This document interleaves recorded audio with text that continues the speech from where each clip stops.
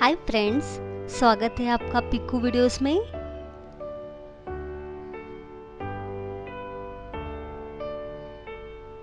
इस रेसिपी के लिए हमें चाहिए मैदा एक cup cornflour one fourth cup चावल का आटा टू टेबल स्पून नमक स्वाद के अनुसार,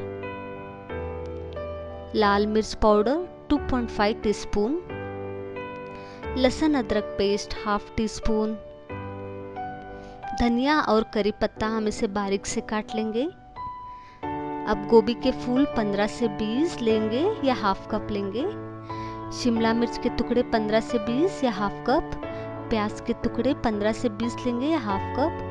पत्ता गोभी के फूल टुकड़े हम 15 से 20 लेंगे। पहले एक बाउल में मैदा, कॉर्नफ्लावर चावल का आटा,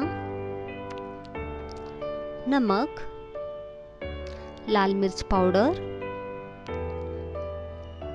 अदरक लहसुन पेस्ट, धनिया और करी पत्ता डालेंगे। अब इसे मिक्स कर लेंगे।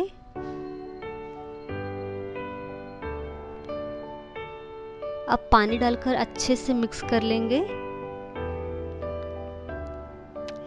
ध्यान रखिएगा बैटर ज़्यादा थिक भी ना होना चाहिए और ज़्यादा थिन भी नहीं होना चाहिए।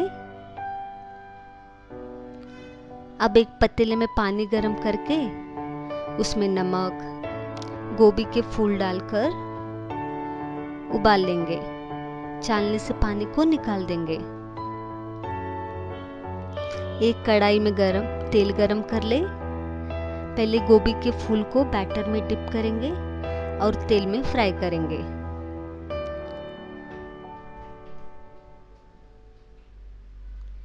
भूरा होने तक तेल में फ्राई करेंगे।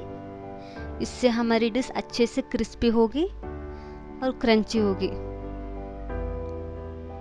अब शिमला मिर्च को बैटर में डिप करेंगे और तेल में फ्राई करेंगे।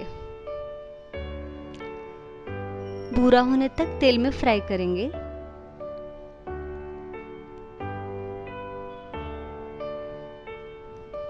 अब प्याज को बैटर में डिप करेंगे। इसे भी सेम तेल में फ्राई करेंगे।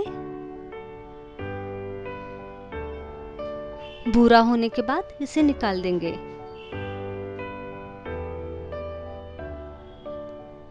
अब पत्ता गोभी को बैटर में डिप करेंगे और तेल में फ्राई करेंगे जब तक ये भूरा नहीं हो जाते।